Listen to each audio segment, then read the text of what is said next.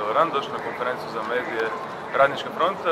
Ovdje ćemo govoriti o brojnim e, dojavama koje smo dobili od radnika Medonalca koji kažu da za razliku od svake druge godine nisu dobili božićnicu ove godine, a inače dobiju tisuću kuna svake godine božićnicu. Te također valja napomenuti da rade prekovremeno bez da im se taj prekovremeni rad honorira kao takav, nego se samo oduzimaju sati od e, nadolazećih radnih dana. Onda.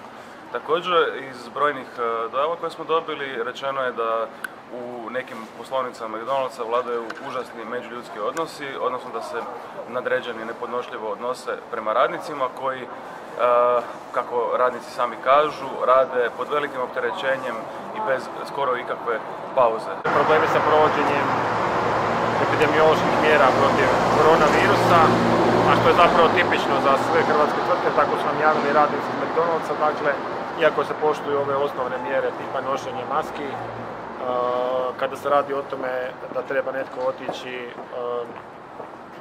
da treba netko otići zbog zaraze, zbog zaraze suradnika, zbog zaraze jednog radnika neko treba otići također na mjere samoizolacije, to se vrlo često ne provodi.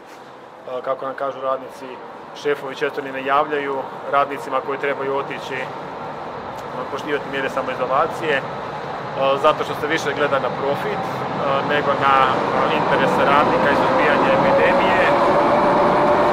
Tako da imamo situacije da radnici koji su bili izloženi virusu i dalje ostaju na poslu.